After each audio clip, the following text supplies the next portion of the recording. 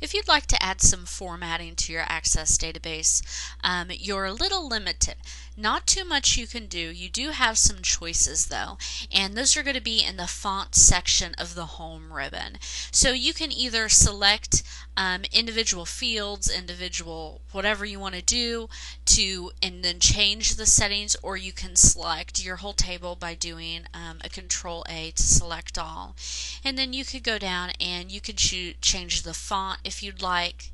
Um, you can change the size of the font. You can change it to bold, italic, underline. You can change um, how everything's aligned. You could choose the color of the text if you'd like. Um, you could choose to put a highlight to fill those cells.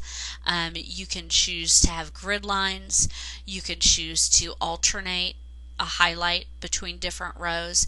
Uh, whatever you like to do for your database, usually it's a good idea not to format it too much just because you really want to concentrate on readability for your database. That's the main reason that you're using it is to gather everything, make it easy to use, easy to read. So um, format all that you like, just make sure that it's still easy for you to use.